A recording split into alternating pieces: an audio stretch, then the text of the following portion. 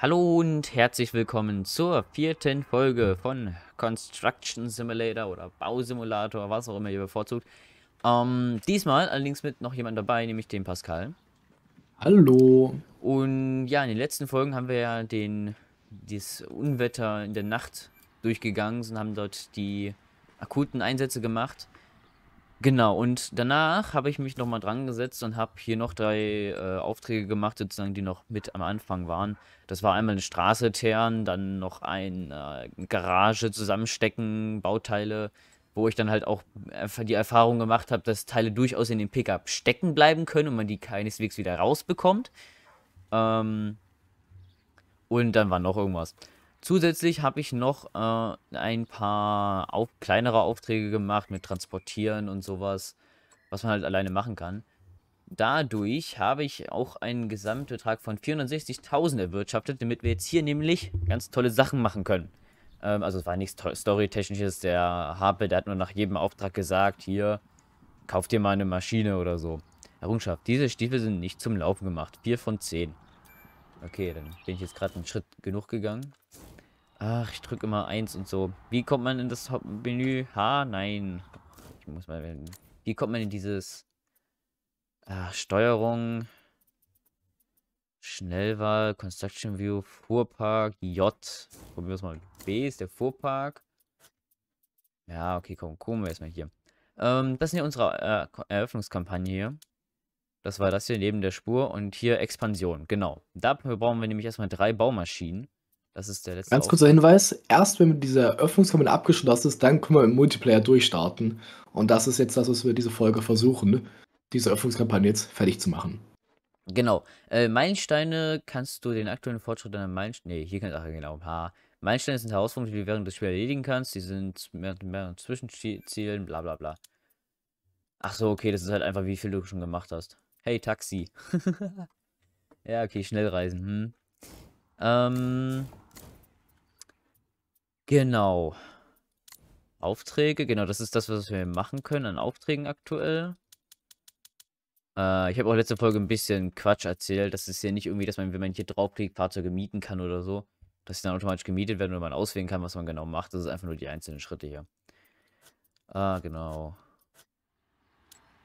Was wollte ich machen? Wir gehen shoppen.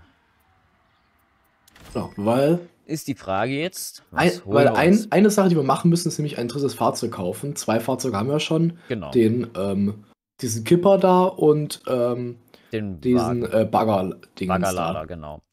Also ist halt die Frage, was holen wir uns? Was werden wir am meisten mit benutzen? Man könnte sich einen Kran kaufen. Warte mal, ich mache mal die Sortierung nach Typ. Fahrzeugklasse. Ähm, genau, wir haben auch normale Autos hier. Knickgelenk der Muldenkipper. Uiuiui. Hm, so Kipper würde ich jetzt nicht erst halt nehmen, weil da haben wir eigentlich ein Fahrzeug. Eine größere Zugmaschine könnte man halt überlegen. Eine, Zug, eine Zugmaschine brauchen wir, wenn dann für Auflieger. Mit diesen Aufliegern können wir dann Maschinen transportieren. Oder halt größere Gegenstände, ja. Wie schnell, Wo, Wofür ich. Bagger haben wir an sich jetzt auch schon einen. Aber nur sehr klein. Ja. Die Frage ist, ob es sinnvoll wäre, den zweiten Bagger ähm, zu machen und sich dann erstmal ähm, erstmal auf ähm, Aufträge zu spezialisieren, wo man äh, insbesondere baggern muss. Wo man Erdarbeiten hätte. Hm. Wobei Erdarbeiten halt auch nochmal mit was anderem verbunden sind. Genauso wie wenn du jetzt halt eine Teermaschine dir holst, du dann halt trotzdem noch. Maschinen mieten werden wir auf jeden Fall. Eine Asphaltwalze brauchst. Asphaltwalze ja. ist ja jetzt auch nicht so teuer zum Beispiel. Ja, natürlich. Oder eine Erdwalzen gibt es ja auch noch. Ähm, woran ich aber auch mitgedacht habe, war ein Kran. Wenn wir einen Kran nehmen, dann gehen wir eher Richtung Hausbau zum Beispiel. Wobei, also am Anfang sind es ja sehr, gerade sehr viele Straßenaufträge. Also ich würde vielleicht dann doch eher in die Straßenmaschinen investieren aktuell. Ja, dann wäre es. Natürlich wäre es natürlich auch sinnvoll, wenn man ein, ein breiteres Spektrum nehmen würde. Also wenn wir jetzt nicht noch einen zweiten Bagger uns holen, sondern tatsächlich jetzt irgendwie, jo. keine Ahnung, ähm, immer einen Deckenfertiger macht oder ähm, eine Fräse oder eine Walze. Also Fräsen, hm, ich würde, also Fräsen brauchst du nur, wenn du eine Straße erneuerst. Das heißt, ja. aber einen Schwarzdeckenfertiger brauchst du immer. Egal, ob du erneuerst oder nicht. Oder halt einfach komplett neu baust. Ja.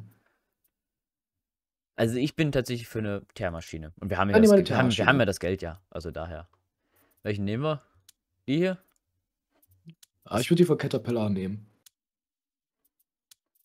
Diese, der hat aber kein schönes Dach. Dann nehmen wir halt die mit Dach. Wenn Ja, du die- nicht die- im die Regen kosten das draußen Gleiche. arbeiten möchtest. Nur die hier, die kostet ein bisschen weniger, ist dafür aber auch hässlich. Ah. Dann nehmen wir die von Bomark. Damit Tobi nicht im Regen draußen sitzen muss, während er teert. Äh, nein, nicht mieten. Kaufen. Jo. Hab mich nicht verrechnet, wir haben noch genug Geld.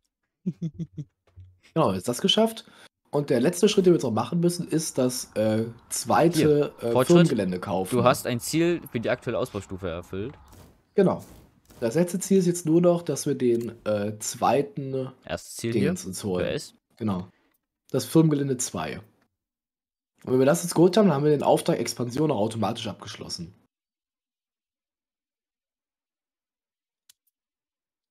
Ja. Jo, gekauft. Ähm, ja, Mechaniker brauchen wir noch nicht. Und So, den wir Auftrag den- Expansion äh, wählen. Expansion. Sprich mit Harpe. Auftrag annehmen. Muss auf Wir Auftrag machen einen klicken. Auftrag hier, ne? Dann kriegen wir 0 Credits dafür. Statt null. Einen Bauabschnitt haben wir. Hinweis. Um dein neues Firmennetz nutzen zu können. Wirst du den Auftrag. Nein, das habe ich doch gerade. Egal. Nicht fragen. Gut. Schnellreise zum nächsten Punkt und dann hinrennen zu Harpe. Yay. Übrigens, diese Harpe-Wackelfigur, die du auch in der letzten Folge thematisiert hast, die haben wir, weil wir das äh, Spiel vorbestellt haben, tatsächlich. Diese Harpe-Wackelfigur ist ein Vorbesteller-Feature. Achso, was ich noch rausgefunden habe. Man kann hier auch. Boah, man könnte den Gehörschutz ablegen, wenn wir ihn nicht brauchen. Ne? Jo. Das ist ja praktisch.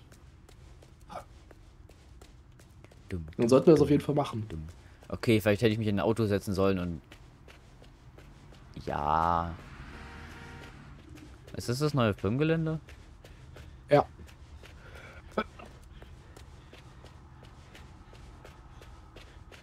Hey, aber wir haben bisher mehr geschafft als Harpe in seiner ganzen Karriere. Kleiner Disrespect. Naja, ist das so. Glückwunsch zu diesem beeindruckenden Firmengelände. Nicht, dass ich meine alte Firma verstecken müsste, aber von hier aus kannst du so richtig durchstarten. Es stehen dir nun wirklich alle Wege offen. Du kannst nun tun und lassen, was du willst. Dennoch solltest du dich hier auch weiterhin nützlich machen. Denn die Stadt braucht jemanden, der Ordnung in das Chaos bringt. Es gibt da ein paar für dich interessante, aber doch sehr unterschiedliche Auftraggeber, die ihre ganz eigene Sicht auf die Probleme der Stadt haben. Da gibt Aha. es den Investor mit großen Visionen, die Umweltbeauftragte, den Direktor des Historischen Museums und die frisch vereidigte Bürgermeisterin der Stadt. Wenn du dir einen Namen machen möchtest, dann unterstütze sie bei ihren Projekten. Es wird sich sicher für dich lohnen.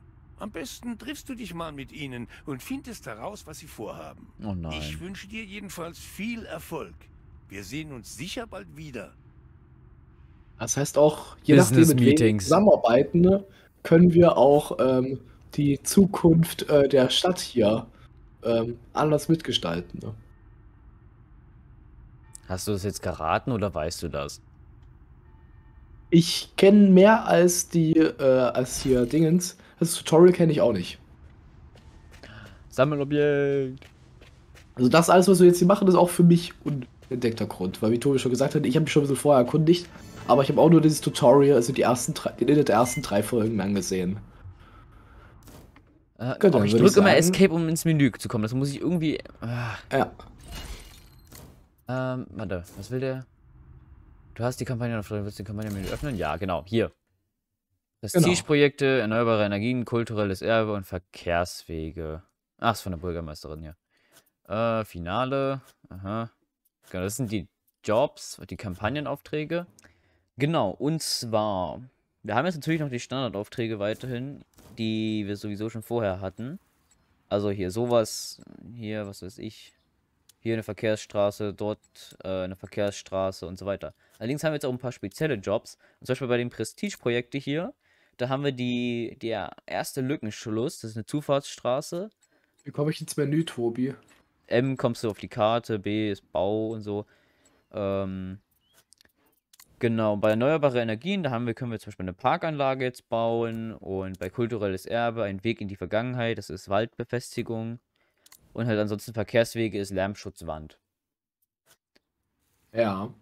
Lärmschutzwand klingt 170.000, sieben Arbeitsschritte. Was wollen wir da alles machen? Einweisung. Ich sag mal so, wir, wir hatten jetzt ja eh gesagt, wir wollen das mal Erdprojekte machen. Was? Nee, wir also haben, wir haben gerade eine Teermaschine gekauft.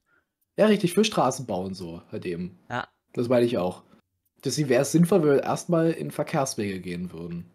Anbau, Lärmschutzwand, Pfeiler, Lärmschutzwandplatzierung, Hinterfüllung.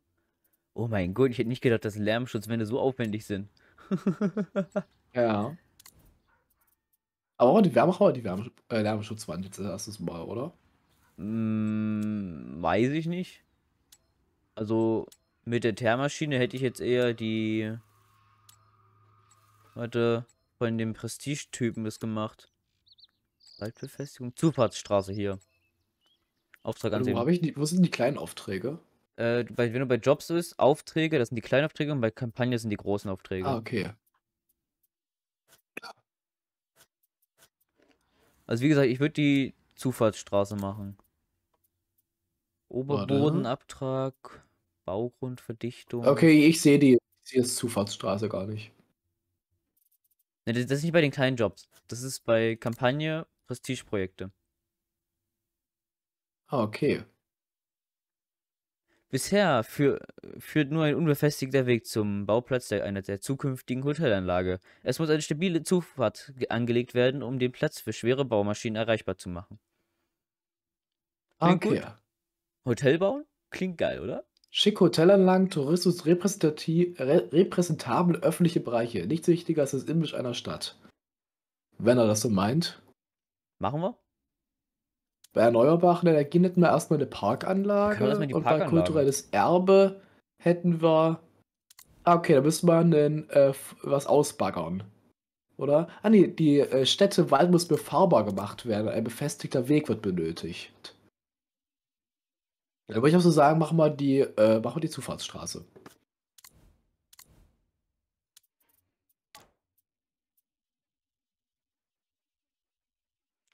Für diesen Auftrag werden Materialkosten zwischendurch fällig, die deinen aktuellen Kontostand überschreiten. Willst du doch noch den Auftrag annehmen? Nein.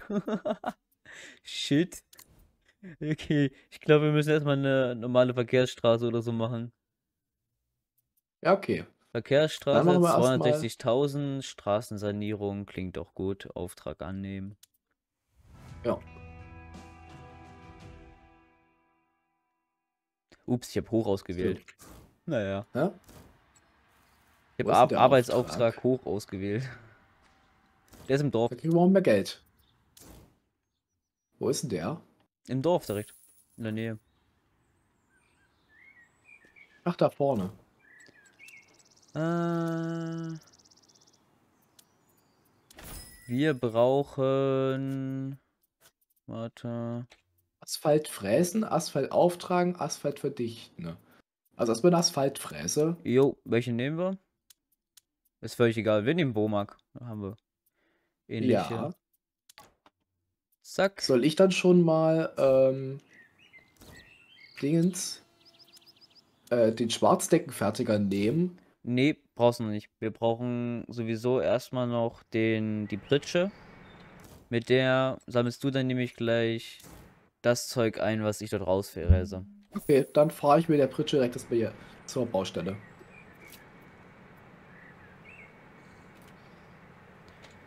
Genau, das war nämlich auch einer der Aufträge, sozusagen einmal die Straße zu sanieren und da musst du halt einmal abbresen alles und dann. Wegpunkt ähm, setzen, ne? Hm? Mit, ah, mit G, okay. Ja, ich hab's. Ich komm hergefahren. So, gucken wir mal. Da.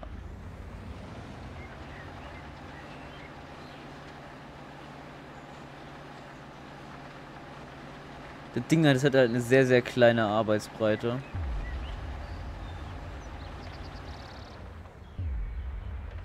Aber man sieht ja auch schon die Straße, die sieht nicht mehr schön aus, die muss mal neu gemacht werden. Ja. Ah, okay. Nach alle paar Jahrzehnte muss die Asphaltdeckheit halt mal getauscht werden. Oh, ich stehe am Bahnübergang, Tobi. Der Zug kommt. Oder? Alle doch nicht. Weil ist auch gerade schon weg, wie der Zug. Sehr gut.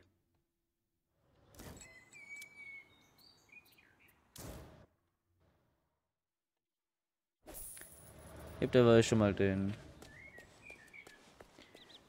die Ja, sorry. Teermaschine hingefahren. Ja. Achso, übrigens Verkehrsregeln habe ich ausgeschaltet. Das war mir zu teuer. Ja, das habe ich gemerkt.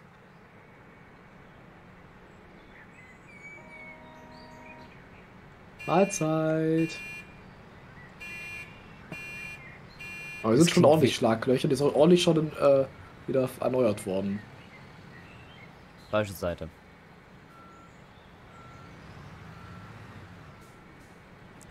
Und wie fährst denn du jetzt? Vorwärts. Richtung Rohr. Also ich muss, ich muss vor dir herfahren. Jo. Aua, Oh, mein. Außenspiegel.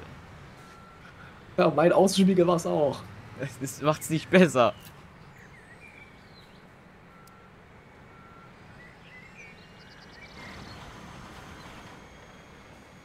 Ich fahre nur ein paar km/h.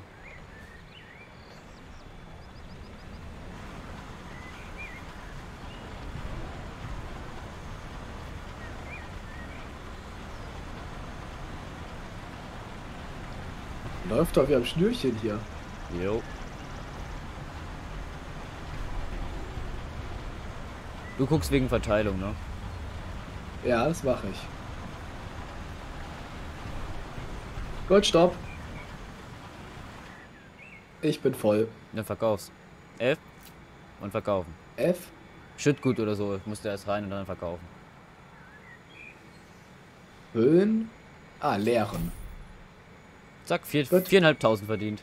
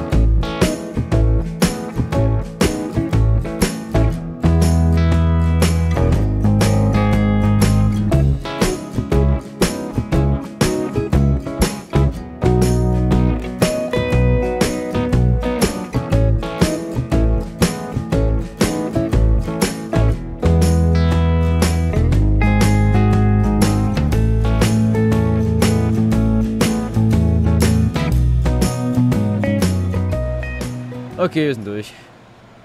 Das war's. Meine Fresse. Meine Fräse, um genau zu sein. Er hat sich ein bisschen gezogen. Äh.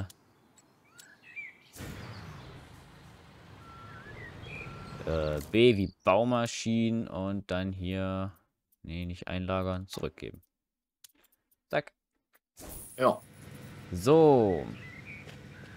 Als nächstes brauchen wir noch eine Walze und einen Asphalt. Äh, Transporter, LKW. Ja, stimmt. Asphalt muss ein bisschen speziellen LKW transportieren. Mm, in so einem Wärme-LKW. Äh, willst du dann asphaltieren?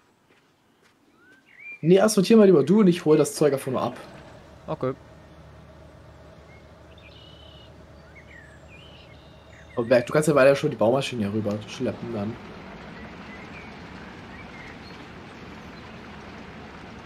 So, wo stehen die Maschinen jetzt? Äh? Du musst noch ausleihen.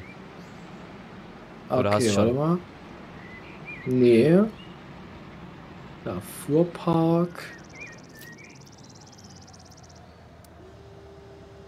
Fuhrpark, wo kann ich das ausleihen? Äh, beim Shop.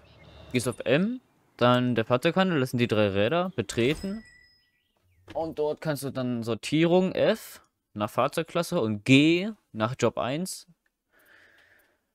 Und da kannst du dann ausleihen.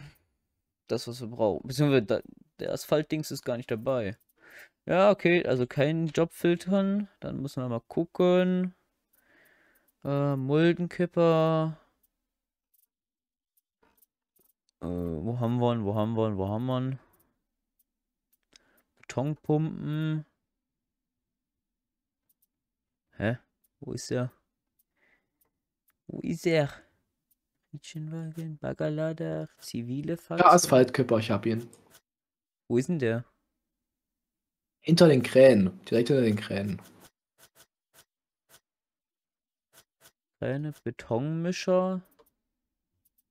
Ich, ich hab's nach äh, Hersteller Also, gemacht.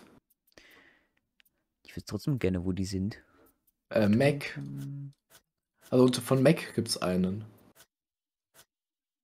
Bagger.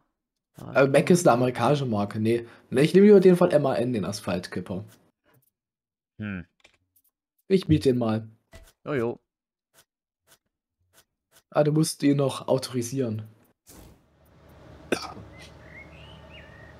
Ah, gut gemacht. Ach, das mit dieser Kettensteuerung, ne? Zum Glück, zum Glück gibt es diese Arcade-Steuerung. Die normale Kennsteuerung ist ja grauenhaft. Habe ich auch schon, hab ich auch schon gelesen. Ähm. Harte. Ich muss doch jetzt bestimmt zum Kieswerk. Wo ist denn das Vieh? Links Kiesberg Steinbruch heißt es. Ah, da.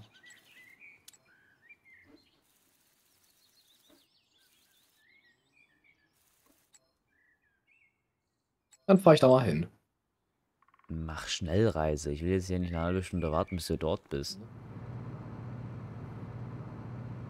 Ne, die Wackelfigur, die haut so schnell den Kopf hin und her. Es sieht nicht mehr gesund aus. Wir fahren gerade 100.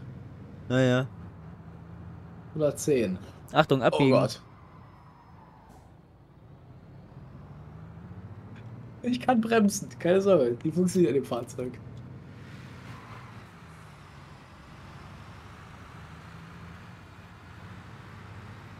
Gleich hier rein. Stopp! Hier vorne ist direkt Asphalt. Ah, okay. Da hinten ist Schüttgut. Ich verstehe. Dann gehst du mal F ins Menü und machst auf.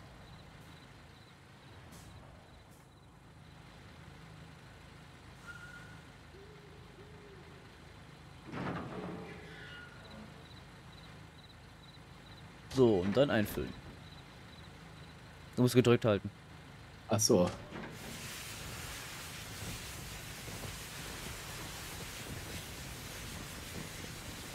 Das klingt ein bisschen wie Schnee, oder? Das heißt, wie viel brauchen wir? Ach voll. Wir brauchen mehr als eine Ladung. Okay. Pfeiltasten hoch und runter ist. Kippen.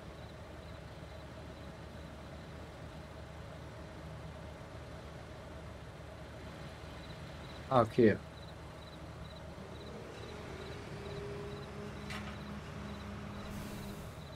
Nicht wegfahren.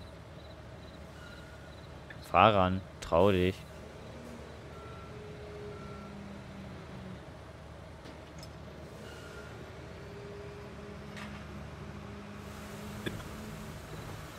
Und der kippt sich auf den Boden, ey.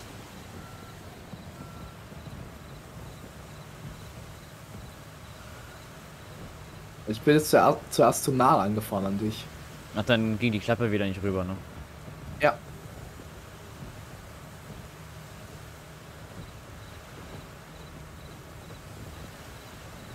Ich sag dir, wenn ich voll bin. Das dachte ich mir. Aber es hört auch, glaube ich, automatisch auf. Okay, voll. Okay, let's go. Äh, Ja, war schon mal die nächste Ladung holen. Ich weiß nicht, wie viel wir brauchen. Ich, ich pass auf, ich fahre erstmal eine Bahn und dann sagen, wissen wir, wie viel wir brauchen. Okay.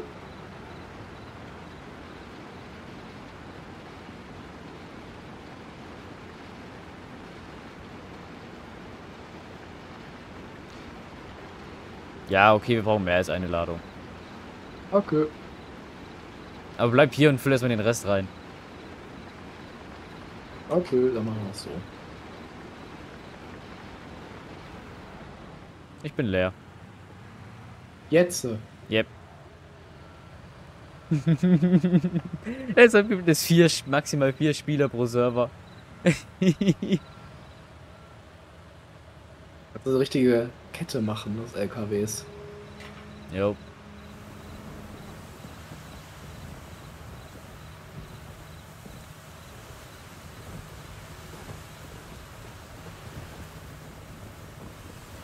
Aber hey, unsere eigene Asphaltiermaschine jetzt, ne? Jo. Cool, ne? Ist schon krass. Dafür hätten wir uns drei Walzen kaufen können. Und bitte benutzt Schnellreise. Ah ja. Ich mittlerweile denke ich. so Und weg und weg war er. Gerade Ja, stand er noch im Weg und da. plötzlich war er weg. Ich bin gleich wieder da. Äh, du musst dich nochmal holen. Ja, okay, kannst auch gar nicht, ne? Ja, wovon denn?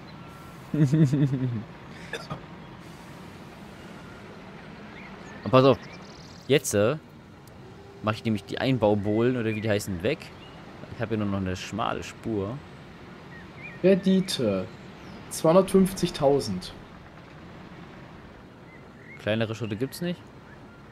Nee, Ja, aber warte, warte mal ab. Ich mache jetzt hier nochmal ganz kurz das.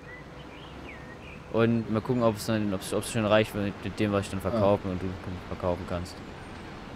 alle 24 Stunden wird ein Zinssatz von 2% fällig, bis du den Kredit zurückgezahlt hast. Also wir werden ja direkt, noch bevor die 24 Stunden ablaufen, zurückzahlen. Das heißt, wir werden keine Zinsen zahlen müssen für den Kredit. Ja, aber wir nehmen trotzdem Kredit auf und das ist schlecht. So, Da kriegen wir jetzt Geld dafür, dass du fertig bist mit Asphaltieren. okay, nicht Ja. so viel. Hast du noch was drin? Ja, Dann verkauf es auch mal. Sehr schön. reicht das jetzt? Weiß nicht.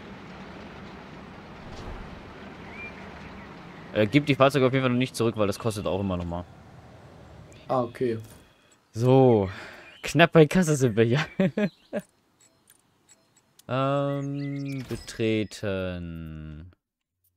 F, G, Asphaltwalzen. Ja, 1500 kostet. Ja. Minus 10%? Ah, wir kriegen sogar Vergünstigung hier. Wie, wie das denn eigentlich? Soll ich jetzt zurückgeben? Nein.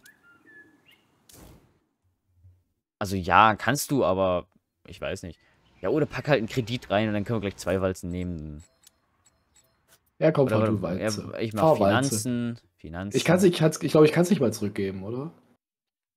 Also ich kann es nicht zurückgeben, weil ich drin sitze gerade. Aha. Ähm, wo kann man es machen? Kredite? Ja, okay, bla bla bla. Sieben Tage Rückblick, Alter, juckt doch keinen. Akzeptieren.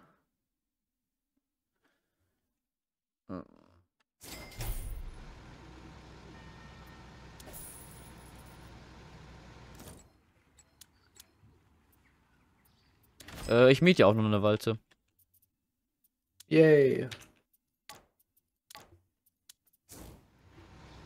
Steht beim Fahrzeughändler. Ja, das dachte ich schon. Mhm. Wo auch sonst, ne? Mm, Da steht eine Walze. Ups, ich wollte gerade unsere Walze, äh, unsere. Ach, wie hieß es gleich? Unser Teil dort verkaufen. Statt zurückgeben. Sehr gut. Wir können auch nochmal ein Thumbnail machen mit den Walzen. Finde ich auch gut.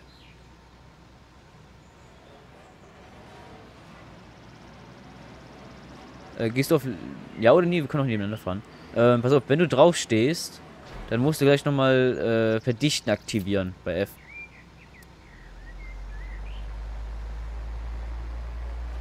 Nicht ausgeschaltet. Weil du noch auf der Straße stehst mit einem Rad. Ah, okay. Let's go.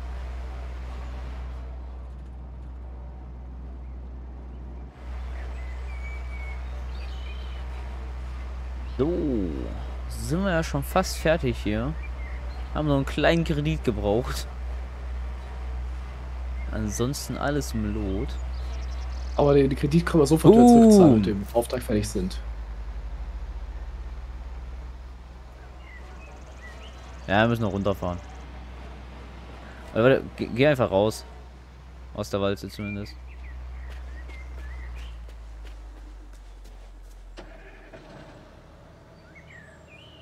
Die Walze einfach zurückgeben direkt Jo. im Menü.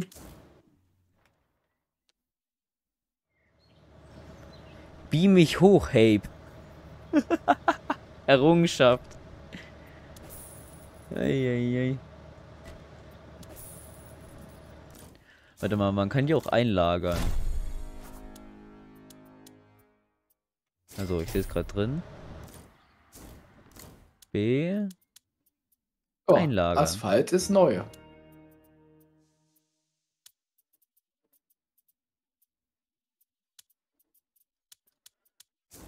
Warte, ich will mir die Baustelle noch mal angucken. Schnelle Reise.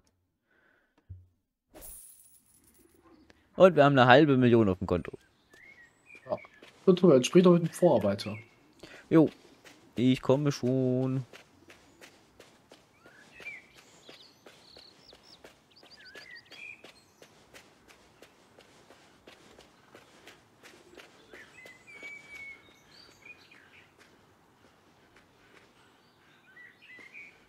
Ah nee, das bist du.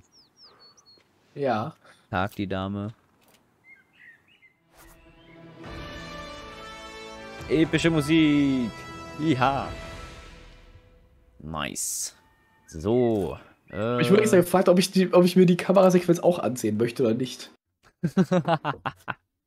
Das Kredite. ist Auswahlmöglichkeit. Rückzahlung. Zack. Ah. Sieben Tagriffe, Geldüberweisung. Ja, Viertelmillion. Wieso kann ich dir was überweisen? Ich glaube, es kann sein, dass wir getrennte Kontostände haben. Ne, wir haben Privatkontostände und das Firmenkonto. Ah, okay. Das kannst du mir Lohn auszahlen. Nice. Mache ich aber nicht. Ja, ich bin wie Sklave hier. Jo. Na dann, ich wünsche euch noch einen wunderschönen Tag. Und ja, wir sehen uns in der nächsten Folge wieder. Da werden wir mal ein bisschen Kampagnenauftrag machen wahrscheinlich. Ja. Aber bis dahin noch einen wunderschönen Tag und bis zum nächsten Mal. Tschüss. Tschüss.